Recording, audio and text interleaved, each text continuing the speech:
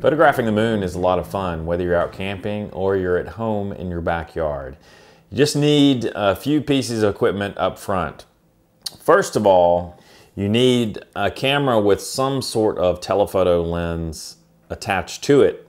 Now in this case, I have a 200 to 500 millimeter, but it doesn't have to be some fancy new Nikkor. You could use an older vintage telephoto lens. For example, this is a vintage 200 millimeter prime lens that would get the job done.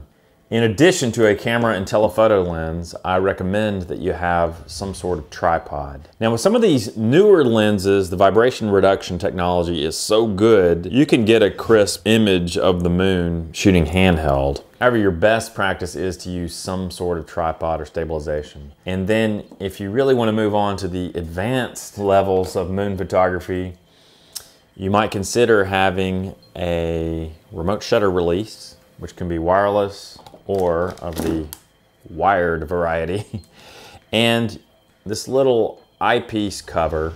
For shooting Nikon, this is the cheapest part, I believe, that Nikon sells. We'll talk about what it does in just a minute.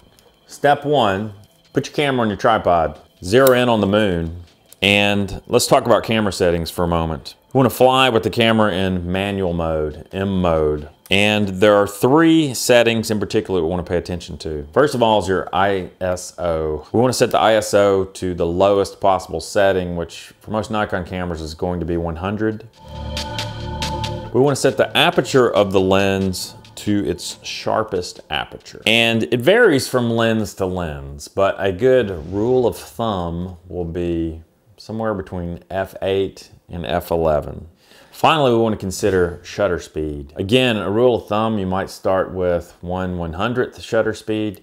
You're going to end up taking a few photos and modifying the shutter speed just a bit depending on what you really need. It's best to photograph the moon on a clear night. If there's any kind of mist or haze in the air, that will affect the ultimate quality of your photos. To get the sharpest picture possible, you don't want any kind of camera shake because that will cause blur in your photo. If you're shooting with a DSLR, you should consider putting your camera into mirror up mode. With mirror up mode, you'll actually need to press the shutter button twice to take a photograph. The first press of the shutter button will lift the mirror up out of the way so you can take the picture. What this really accomplishes is it reduces the amount of vibration in camera that could potentially cause camera shake and lead to a blurry photo. Camera shake can be produced by you simply handling the camera. So that's why I recommend you using either a remote shutter release, uh, in which case you're not touching the camera to take the photo, or if you don't have a remote shutter release, you can set your camera into self timer mode and just take the photo with for example, a two second delay on the self timer. And that way you won't be touching the camera to introduce any kind of camera shake when the photo is taken.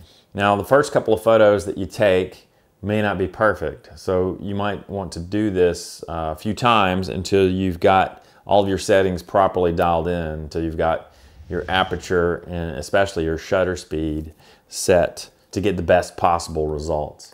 Now with regard to the little Nikon eyepiece cover I was telling you about, stray ambient light can actually enter the eyepiece and it can affect the image being recorded. Now for an average moonshot, this may not be a problem, but if you're doing any kind of long exposure astrophotography, you're going to want to use one of these eyepiece covers. It's just a good practice. So now the eyepiece is unusable and that is why the Lord created live view. So you can put your camera in live view mode, just compose the photograph looking at the rear LCD screen of the camera in live view. Pretty much everyone post processes moon photos just a bit because no matter how sharp your lens may be, when you add a little bit of contrast and maybe adjust the white balance a bit, you're gonna end up with a more pleasing image. So when you pull it up into Photoshop, you can play around with the contrast and the sharpness and uh, that sort of thing just to get the image that you really want. So that's just a quick look at moon photography. The next time you hear about a lunar eclipse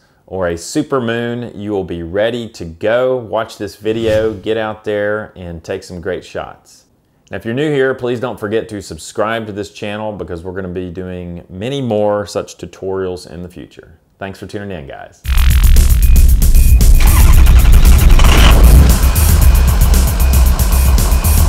Loloho.photo is all about photography.